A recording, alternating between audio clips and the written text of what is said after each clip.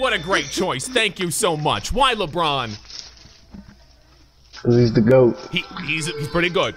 He's no Jordan though. He's better than Jordan. Oh, I'm blocking you. Fuck you guys. No, fuck you, little. man.